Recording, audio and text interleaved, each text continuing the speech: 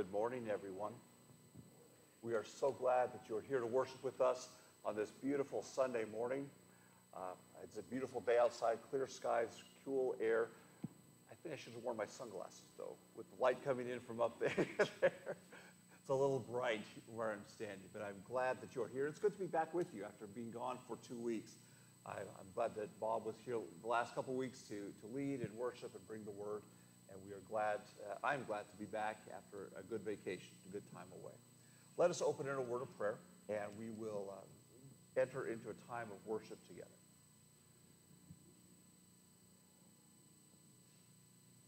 Gracious God, thank you for today.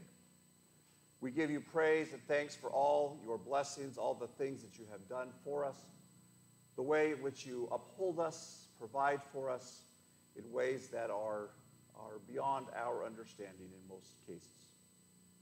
In the big and the small things, Lord, we know that you bless us and care for us. Lord, open our hearts today. Open our hearts this morning to your word, uh, your spirit that moves uh, within us and around us.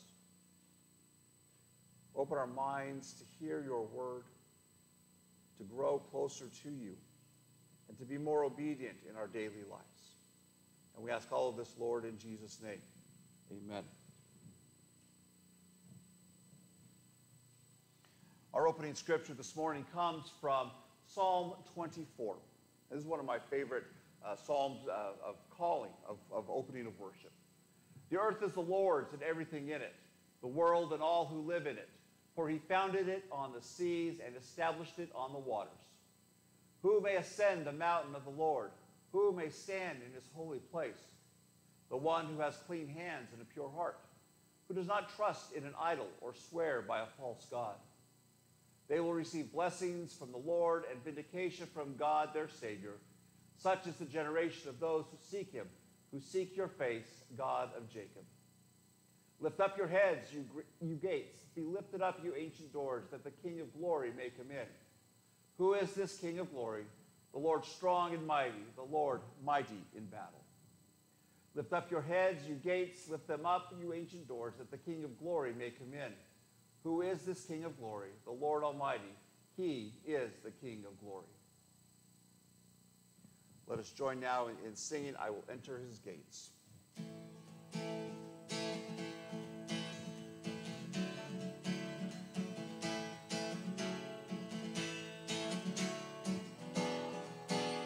Will enter his gates with thanksgiving in my heart. I will enter his courts with praise. I will say this is the day that the Lord has made. I will rejoice for he has made me glad. He has made me glad, he has made me glad. I will rejoice for he has made me glad. He has made me glad, he has made me glad. I will rejoice for he has made me glad.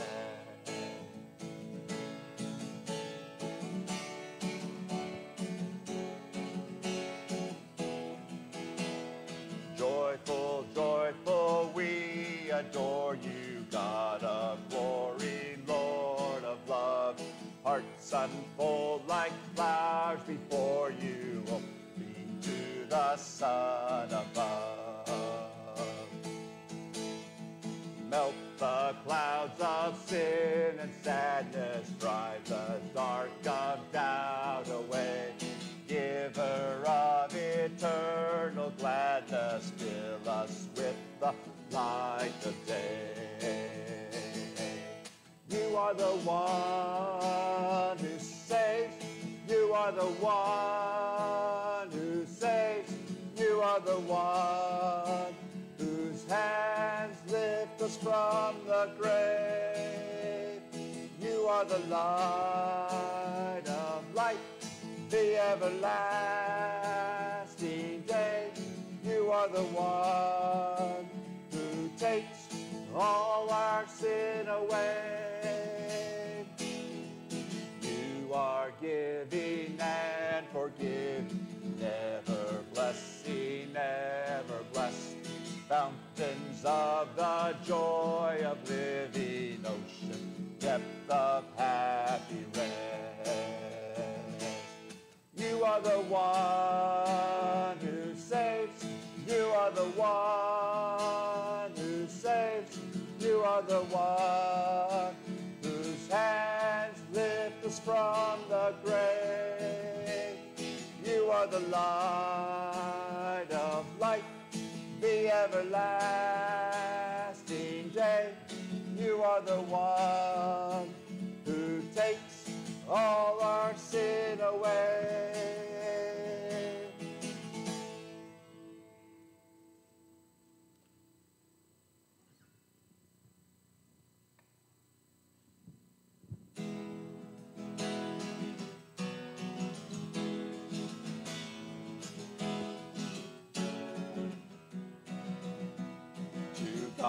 God be the glory, great things he has done. So loved he the world that he gave us his son, who yielded his life and atoned for sin and opened the life gate that all may go in. Praise the Lord, praise the Lord, let the earth hear his voice. Praise the Lord, praise the Lord, let the people rejoice. Oh, come to the Father through Jesus the Son and give him the glory, great things he has done. Oh, perfect redemption, the purchase of blood to every believer, the promise of God, the wireless defender who truly believes. That moment from Jesus, a pardon receives. Praise the Lord, praise the Lord, let the earth hear his voice. Praise the Lord, praise the Lord, let the people rejoice. Oh, come to the Father through Jesus the Son and give him the glory, great things he has done. Great things has taught us, great things he has done, and great our rejoicing through Jesus the Son. But purer and higher and greater will be our wonder, our transport when Jesus we see. Praise the Lord, praise the Lord, let the earth hear his voice. Praise the Lord, praise the Lord, let the people rejoice. So come to the Father Jesus the Son and give him the glory, great things he has done.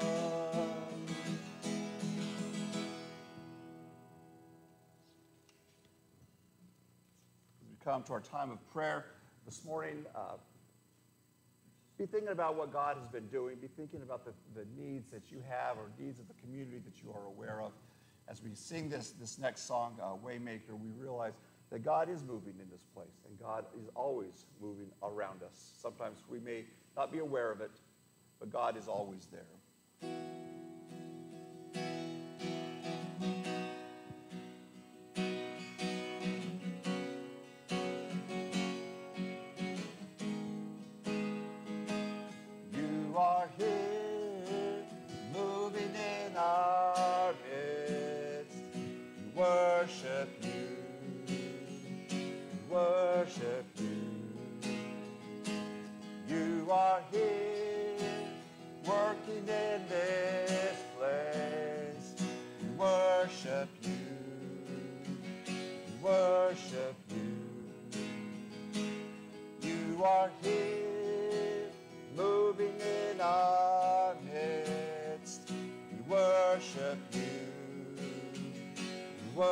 Worship you.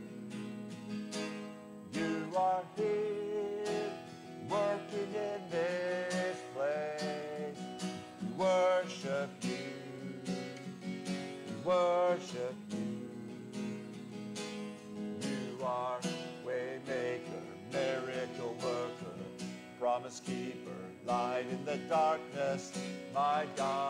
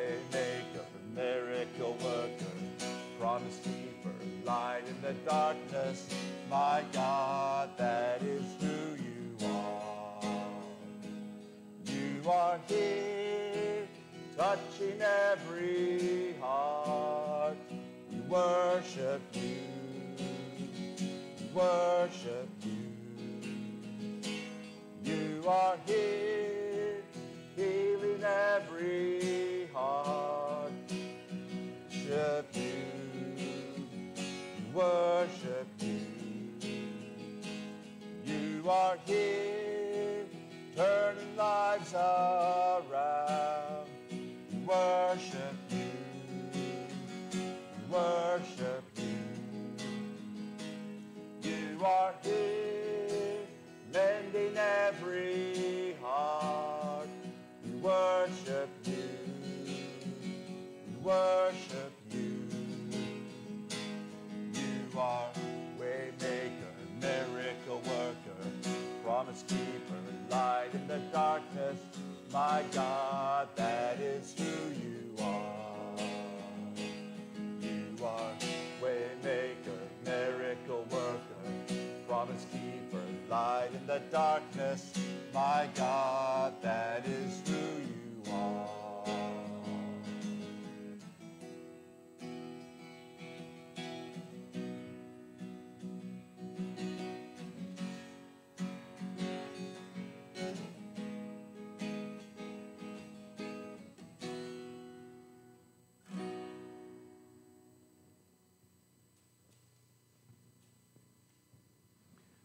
Are there prayer requests that you would like to share with us this morning?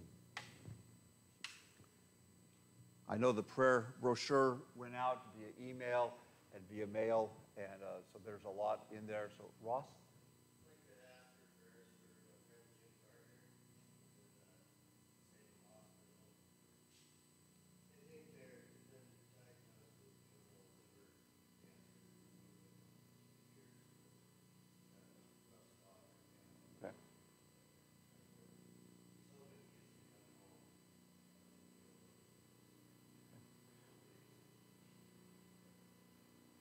Prayers for Jim Gardner, who is in the Salem Hospital with, with liver cancer.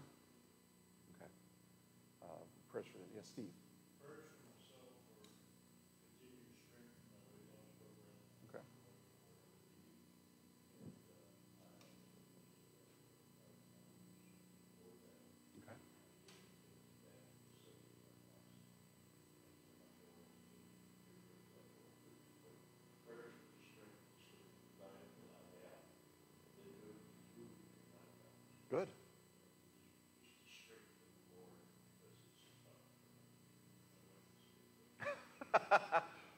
For, for Steve uh, to lose some, some more weight, uh, stick to the diet.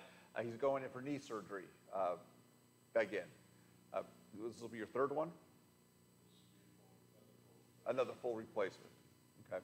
Uh, but he's got to lose some weight first uh, to, be, to make that a successful thing. Marcia.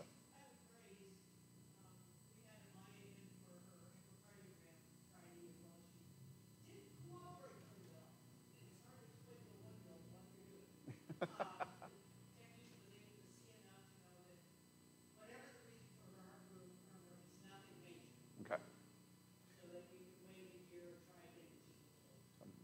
Uh, praise for uh, Amaya's report uh, for her heart murmur. The, they didn't see anything that was significantly causing the murmur, uh, so they'll try again in, in another year or so, and hopefully she'll be a little bit more cooperative to, to do the, the procedure, do the scan.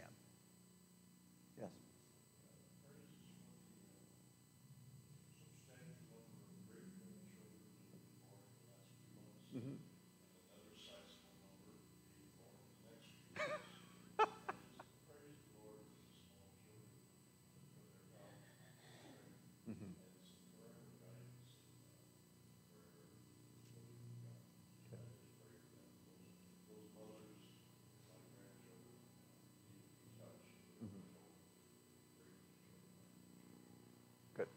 Uh, prayers for blessings for, for your gr- current grandchildren and prayers for the ones to come in the next few months. Uh, prayers for mothers and fathers and the whole family uh, in the upbringing of, of those children. So we're, we're glad to pray for those and celebrate the new life. Absolutely. Others, somebody would like to share? Let us go to our Lord in prayer this morning, remembering these and remembering the, the ones on our hearts that we may not have spoken, but God knows, and remembering those on our prayer list as well. Let's pray together.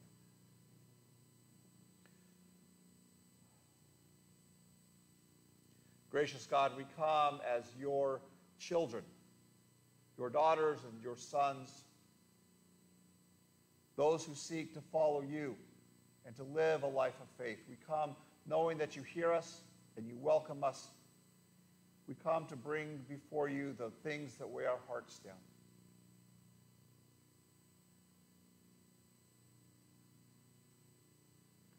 Lord, for those who are in need of healing, we lift them before you. We pray, Lord, for those who are battling cancer.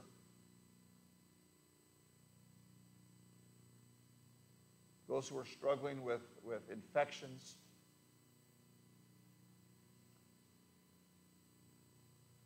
We just hold them before you, Lord, for these and so many other issues that, that our bodies face and battle against.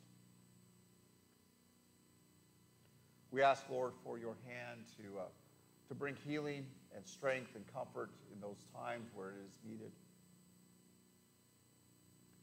We pray, too, Father, for those needs that we have um, in our emotional or mental health. We pray, Lord, for your peace. Lord, we do celebrate the, the new birth and we also pray for mothers and, and families in the, in the upbringing of these, these children. Lord, we pray for our community. We pray, Lord, for our country. That you will bring us together for the good of, of all people. That you will guide our leaders at, at every level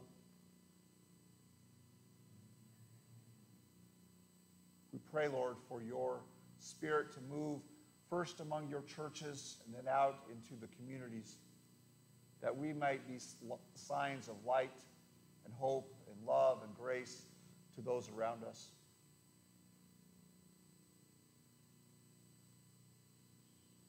Lord, we lift before you our church.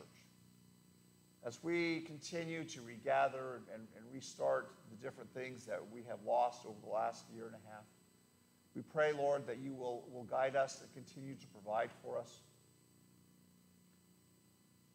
That the excitement of coming back together, the excitement of, of being together, will in, invigorate us in, in a way that, uh, that we need right now. And Lord, for the many blessings that you have given to us you know, the blessings of, of, of grandchildren and new birth, the blessings of new beginnings, the blessings of, of health, the blessings of a flower. We ask all of these things, Lord, uh, in Jesus' name. Amen.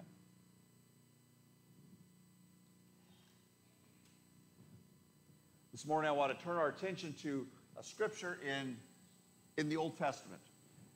Uh, this comes from the, the prophet Isaiah.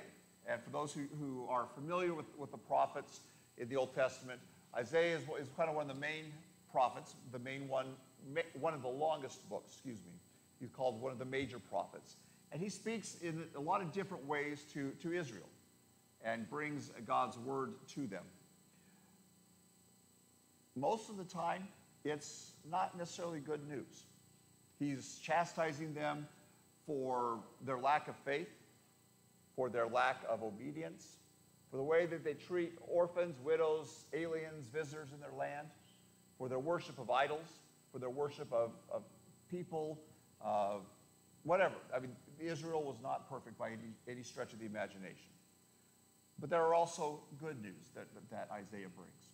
And this is one of those, those texts where Isaiah reminds the people that he speaks to and I think in a way he reminds us that God continually does new things, that God has not left us, God does not leave us alone, but God does new things in our midst.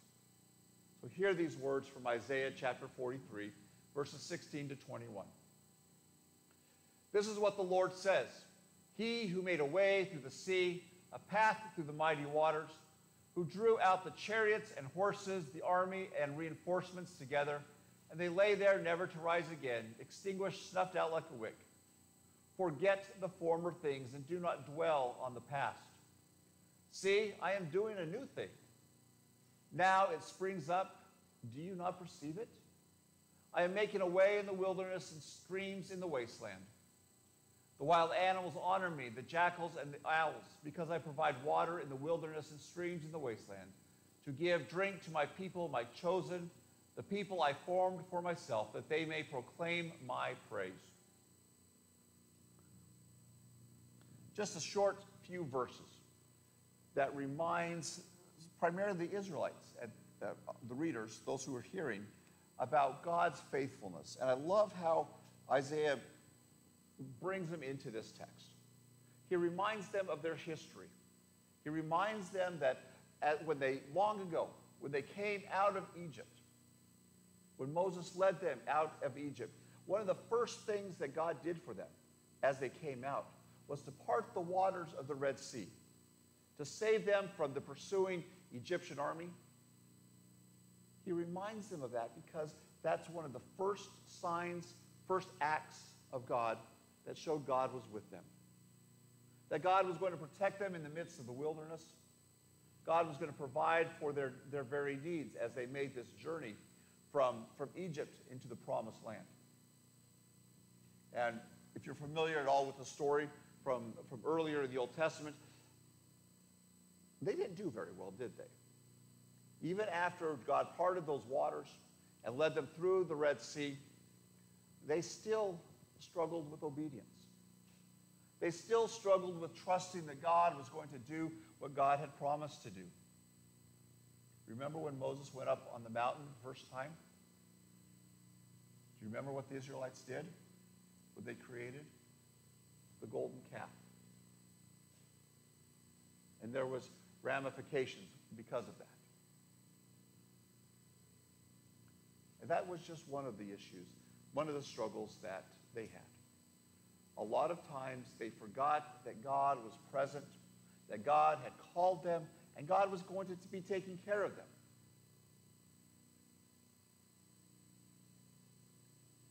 So it, Isaiah here reminds them. And he says these words Forget the former things. Do not dwell on the past. See, I am doing a new thing. Now it springs up. Do you not perceive it? For me, those are very challenging words. It's easy for me, probably easy for all of us, to dwell in the past in both good and bad ways. Sometimes we'll dwell on the past and say, wow, do you remember how wonderful it was back then? Do you remember all the fun that we had way back then? I wish we could go back to those times. I wish we could go back there. Now, it's not bad to remember those things, but maybe go, wanting to go back to them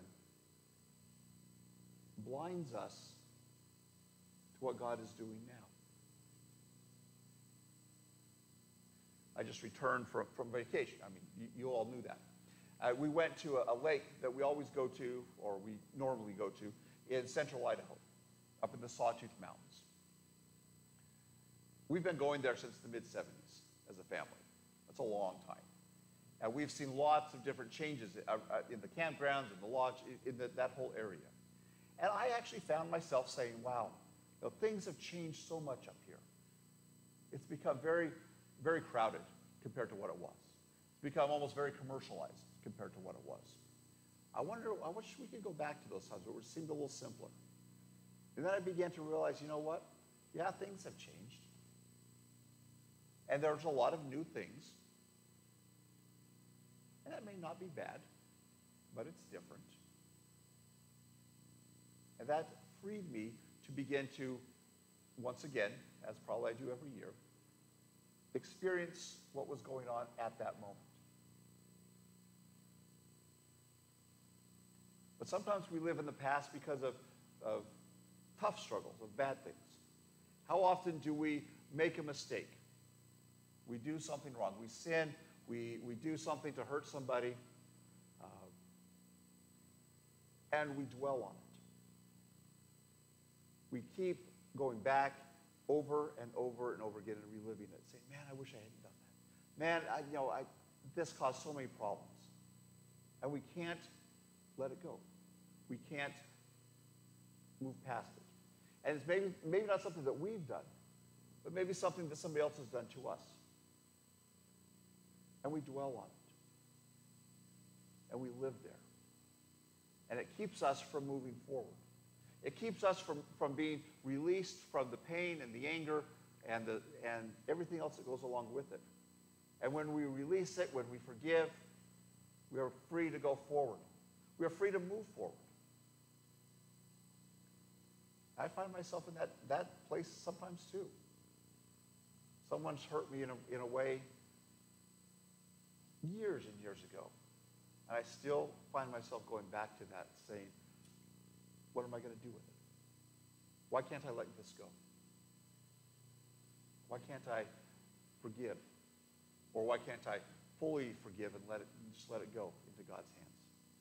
That's a struggle I think probably we all have to some degree at different times in our lives. I think what Isaiah is saying here is forget the former things. Not, not necessarily forget them and put them out of your memory, but forget them in a way that does not anchor us to those things in the past. Because oftentimes that will keep us blinded to what God is doing now. And that's what he says here. He says, See, I am doing a new thing. It springs up.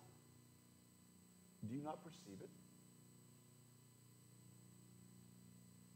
To me, that's just kind of one of those things like, yeah, sometimes I don't see God, what you're doing new. Sometimes I'm blinded to what is going on that's new around me. Maybe I want to go back to the good old days, the golden years, or whatever, you, whatever term you want to apply to it. Maybe I'm, I'm, I'm stuck with a hurt or a, a, something that's gone on in the past that I need to let go of uh, that was bad, that I did or somebody else did. Forget the former things. Do you see the things that I'm doing? Do you not see them? Sometimes I think God's, God's kind of slapping you upside the head saying, Do you not see him? Come on, Darren. Pay attention to what's going on.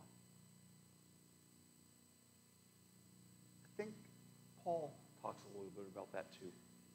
Because Paul, in his writings, and we're skipping lots of years ahead in Paul's writings. Paul is one of those uh, that we are familiar with. And we look at Paul and we say, you know, Paul came from a very uh, specific background, a very specific way of, of, doing things because he was a Pharisee. And they, they dwelt on things. And he, they looked at the laws as the way in which they were going to change and be saved. But when Paul had his meeting with Jesus, his conversion, there on the road to Damascus, he began this, this path of transformation. To move beyond the old way of that he understood things, the old way that he did things, to new creation. In fact, he talks about that in, in 2 Corinthians uh, chapter 5. Uh, I'm going to read from verse 16 and following. It says, from now on, we regard no one from a worldly point of view. Though we once regarded Christ in this way, we do so no longer. Therefore, if anyone is in Christ, he is a new creation, new creature. He is new. She is new. They are new people. Therefore, if anyone is in Christ, he's a new creation. The old has gone and the new has come. This, all this is from God who reconciled to himself, who reconciled us to himself through Christ and gave us the ministry of reconciliation. Paul realizes that when we come to Christ, when we have that, that, that conversion, we become new people. We may still struggle with the old things. We may still struggle with some sin. We may still have our own hangups. But we become new creatures, new creations, new men, new women and our lives are different. It says, we regard no one from a worldly point of view. We're not going to remember, we're not going to hold those things against them from the past. We don't see them as they were. we see them as they are now, as new creations. The things of the past may still impact today. The things of the past may still have consequences and ramifications for today. But we are new creations. We are new people in God. And that's not only how we should see ourselves, but how we see others. And part of that is, is learning to forgive, learning to let go, learning to see what God is doing new in our lives, in our family, in our church, in our community. Where is God moving in our midst? Do you not see it? I think as we move forward as a church, we will have lots of opportunities to see what God is doing in our what God is doing in our midst. A couple things, you know, just from even this past week. We had the dental van here on Friday. And one of the, the, the patients brought her husband in with her. Do you remember, remember them? Uh, Nelda was downstairs talking with him, and I just happened to pop downstairs. And, and he started to ask a question about faith and about his, his, uh, his faith. And I had an opportunity to share that with, share with him. It's a new thing, a new opportunity for us. We have new opportunities to share the gospel, to share God's grace, to share God's welcome to all people, and to welcome them and say, God welcomes you in. We have these new opportunities if we see, if we just open our eyes and see them. But there are blinders we put on. Sometimes they're blinders like racehorses wear, where they go along the side of the head to help focus their eyes. And we can only see certain things. Sometimes they're blinders like this, that we can't see anything. And we walk around uh, stumbling in the dark. Isaiah says, forget the former things of the past. Paul says, we regard no one from a worldly point of view. Isaiah says, do you not see the, the new things that God is doing? Paul says, we are new creations, created in Christ because of what God is doing to reconcile us, to bring us back into that relationship. So this is what I this is my challenge for us this week. I want you to take some time. And I want you to see where you are still holding on to something from the past. Something maybe you've done, maybe something someone's done to you. Maybe you're wishing to go back to whatever event, to whatever time period, and say, I want to go back there. Things would be so much better if I went back there, if I was back there, if it was this time in our history, whatever it was along those lines. I want you to, to specifically say, God, take this. Take this from me. Help me to see what you, God, are doing now in this place. Transitions, new things like that are never easy. Stepping out in faith is never easy. But when we begin to see what God is doing in our midst, what God is doing not only uh, within us as individuals or as families, but around us in our community to show love and grace, then we can join in. Can say, God, I see what you're doing new here. It may start out small. It may start out very small. But it grows. Kind of like a little mustard seed that Jesus talked about. Do you remember that? Little mustard seed, smallest of all seeds, are probably about that big. But they grow to a mighty, mighty bush, mighty tree that even the birds rest in. I've got a couple apple trees in my backyard that probably start out, you know, apple seeds are not much bigger than that. But now they're really big. They need to be trimmed back, but they're really big. But they started from one little seed. That's how new things start. We see the little things God's doing. We see the small things that God is doing anew in our midst. And we decide, you know what, I'm not going to hold on to the stuff. I'm going to move forward and I'm going to take care of the things that need to be taken care of. I'm going to see the new things that God's doing. And I'm going to join in enthusiastically to see what's going to come about. See what God's doing. Would you pray with me? Gracious God, we do come this morning knowing that you are a God of today and tomorrow, and that you are doing new things within us, making us new creations, and calling us then to go out and be new people in your world today. Lord, help us to do that. Let us not be held back by the things of this world. Let us not be held back by the things that you uh, want us to let go of, but to latch on to you and to move freely and purposefully into your new future, into new, your new graces in all that we do. And we ask this in Jesus' name. Amen.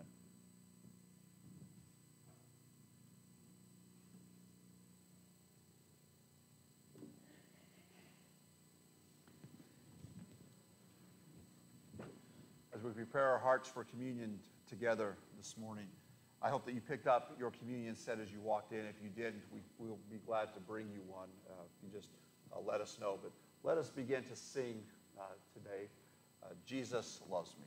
And I hope you all at least know the tune. The words may be a little different at, at times because there's, a, there's actually a lot of verses to this, this little children's song.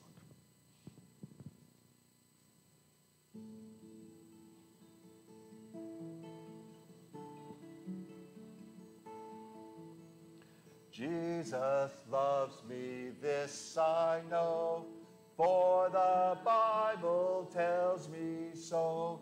Little ones to him belong, they are weak, but he is strong. Yes, Jesus loves me. Yes, Jesus loves me. Yes, Jesus loves me. The Bible tells me so. Jesus loves me, this I know, as he loved so long ago, taking children on his knee, saying, Let them come to me. Yes, Jesus loves me. Yes, Jesus loves me. Yes, Jesus loves me. The Bible tells me so. Jesus loves me still today, walking with me on my way waiting as a friend to give light and love to all who Yes, Jesus loves me. Yes, Jesus loves me. Yes, Jesus loves me. The Bible tells me so. Jesus loves me, he who died, heaven's gates to open wide. He will wash away my sin. Let the little child come in. Yes, Jesus loves me. Yes, Jesus loves me. Yes, Jesus loves me. The Bible tells me so. Let's go back and sing the first verse. I want you to change the words a little bit. Instead of Jesus loves me, I want you to sing Jesus loves us. Make it plural. Make it inclusive. Jesus loves us, this we know, for the Bible tells us so. Little ones to him belong they are weak, but he is strong. Yes, Jesus loves us. Yes, Jesus loves us. Yes, Jesus loves us. The Bible tells us so.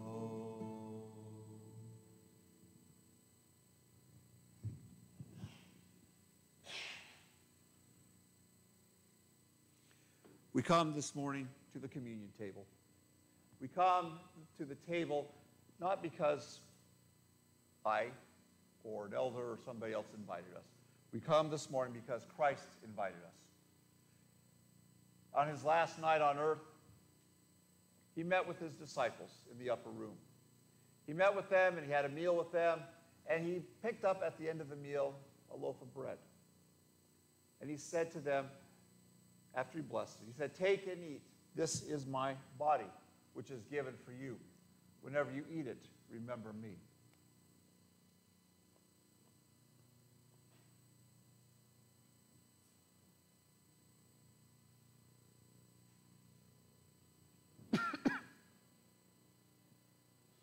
After they had all eaten, he picked up a cup from the table. And he said to them again after he blessed, he said, This cup is a new covenant in my blood, shed for forgiveness of sin. Whenever you drink it, remember me.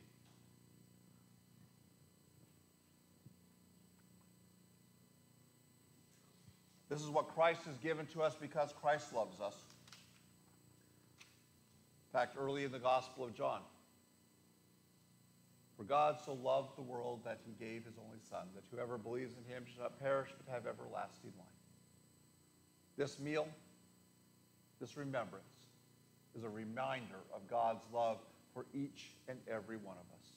That we are all welcome to the table, that we are all welcome to come and remember what Christ has done for us, and then to go and live that each day this week by showing love to one another a few announcements as we, as we get ready to conclude this morning. First of all, if you have your offering, uh, you can put it in the box in the back there. As you go out, you can bring it up and put it on the, on the table here. Uh, you can give online if you'd like. Just go to our website at, at dallasfirstcc.com. There's a link there to give that. You can also th- through the app as well.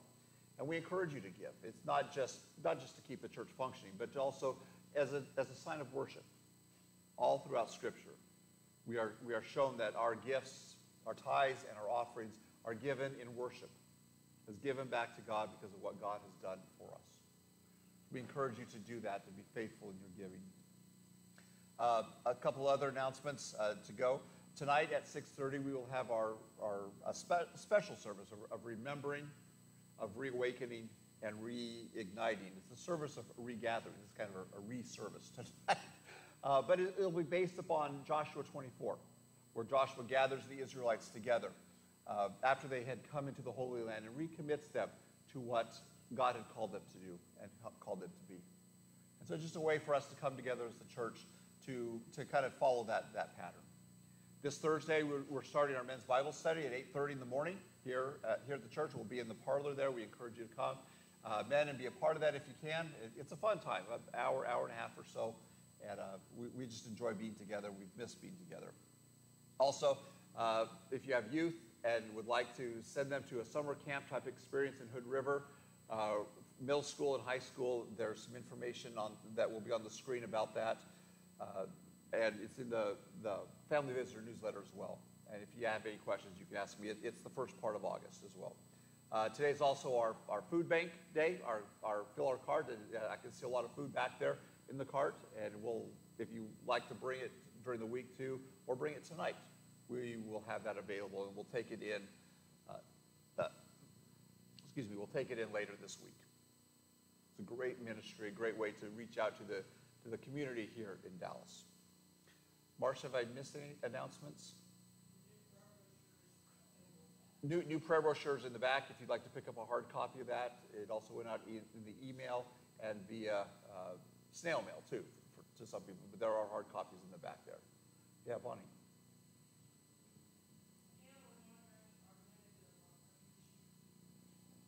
I don't know.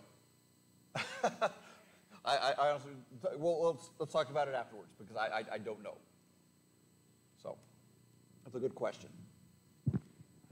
So, so, let's close this morning with, with a song that, that helps us to, to go forward from this place. A song that talks about uh, God and his power, God and, and all that, that God does for us. Uh, our, our God is greater, and we serve a great, powerful, awesome, almighty God. And God takes care of us. God blesses us. God calls us to be God's people in the world today. Would you join in singing our closing song?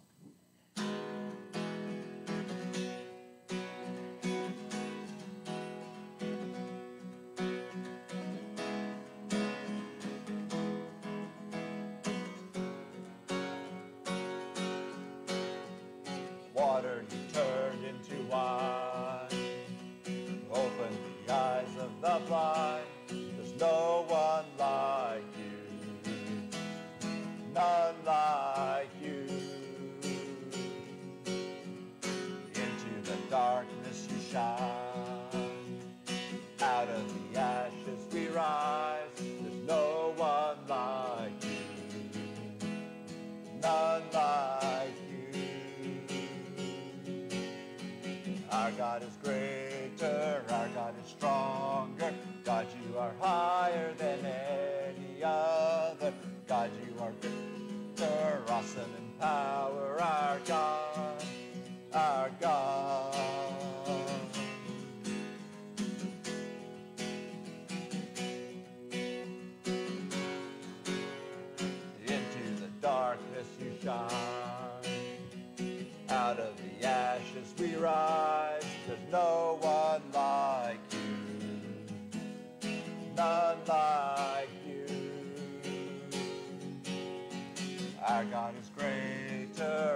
God is stronger.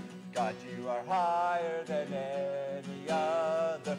Our God is healer, awesome power. Our God, our God. And if our God is for us, who could ever stop us? And if our God is with us, then what could stand against? If our God is for us, who could ever stop us? God is with us, what could stand against us?